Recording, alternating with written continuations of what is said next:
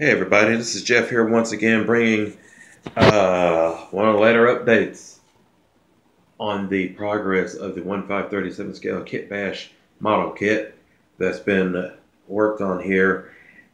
All the masking, that's the word I'm looking for. Yeah, man, it was hot outside and I was out there washing the car. It's hot. It's hot. Hot. It's hot. South Arkansas. Warm. That's okay though. All right. Uh, all the masking that I was doing for this kit has been taken off. All of it, including these on the top and bottom of the navigational deflector. I hadn't seen that off since I originally started painting this ship all the different colors that it has been. And uh, what I've gone through and done here on today, well, yesterday and today, actually, is masked off. There's my ball. I cut out a bunch of uh, squares and rectangles and I masked off on here and I gave this ship some paneling. That's cool. And how I achieved this was I took all those nice little squares and rectangles you see right there down there, a nice little ball, ready to go in the garbage. Took all that and I placed it all around the ship in different areas. And then I took this. Testors spray lacquer. Some Lassa and aerosol. I took that and I sprayed it all over the ship. And then I pulled the masking off. Now, the paint that was on here was a little glossy like.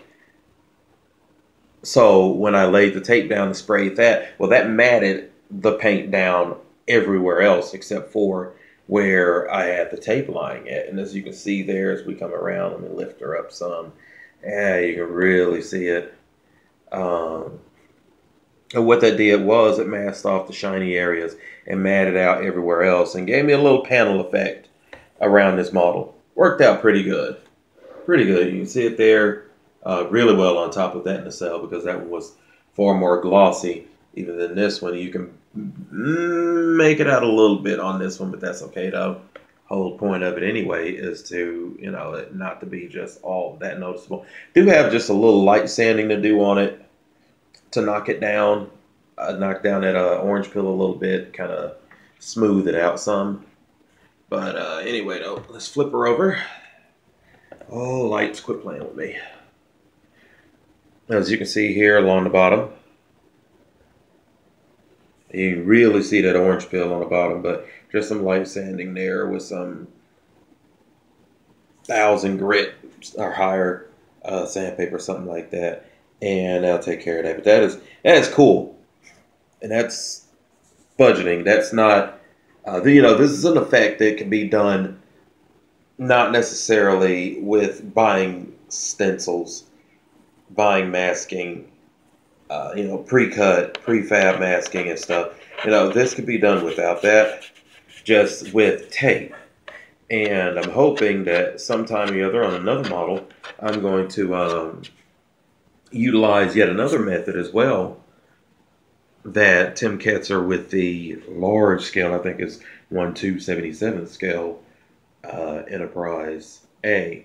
His way that he masked off making a stencil a hard stencil with the shapes cut out. You just lay it over it and you spray and then bam, you pull it up. No individual things and stuff. And, you know, it may even be able to do that with a multicolor effect on one of these models or multi-shade effect on one of these models, um, especially the larger ones. Smaller ones, yeah, you know, one one thousand scale Excelsiors and fourteen hundred scale Enterprise E's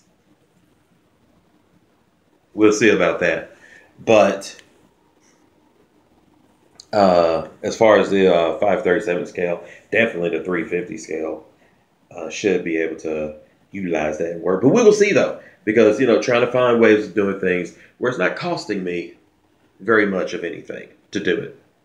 And you know, me going back to my roots, go back to my roots of modeling on a budget, which is where I started out at.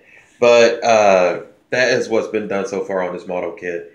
Now, what we've got, if I can find it, I can find it. Let me look over here, my pile of many things underneath this very, very, very big uh, Hercules gunship. Somebody, please point me in the direction of what I need.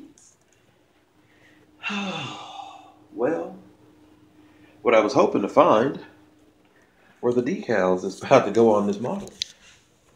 Anything? Anything? Anything? Jeez. Where are they? You know what? I'm gonna take a pause a minute. While I go find these decals. I'll be right back. All right, now I'm back. Quick pause for y'all, about three minutes for me. Now, here we go. Decals. This is a generic 1 537 scale set of decals that I ordered from federationmodels.com. They're PNTs. Awesome. And you've got everything you need to give yourself to give yourself at least one large uh, number on the top, large one on the bottom, well, semi-large on the bottom, and uh, you know several around it, and it's pretty cool. Bunch of different things. Ooh, I like that right there. That's gonna look awesome somewhere. Hmm. Right there, maybe. Possibly on the top. I don't know. Either way, though, I am going to utilize this set and give it a set of awesomeness. Ooh, I like the doors too. I like the doors because that's to come in handy right there. Right there. Let's flip it back over again without pissing it off. There we go. Oh, okay. Now, yeah, give it a set of doors right there. We've got the lights to either side. Um, that'll look cool. That'll look really cool. And actually give it some doors down in these area too, down those areas as well, because that is a hatch zone. Those are hatches. So yeah, I'm really just now really just looking at this to see and planning because I had to finish getting it uh painted first. Now I do have the detail painting to do, the phaser uh your phaser emitters uh, around the BC deck area. Of course, the warp nacelle uh, detailing and stuff. And I'm thinking about highlighting this in a different color altogether, but I'm not sure yet. Um, I think it may stand out just a little bit too much. And then maybe a few accent colors. And then that'd be it. But other than that, though, that's really what we've got left.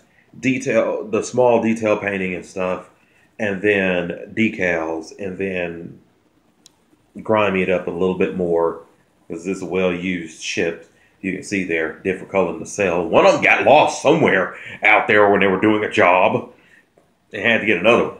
So, and I've got a little bit of a something extra I'm gonna do on this as well to uh, give it just a little bit more of a we had to rig something up look to it and stuff. Something not so clean, streamlined, typical Starfleet, Star Trek stuff. So, go forth and continue working on this model. Those of you out there building models could keep on building and I will talk to you guys later.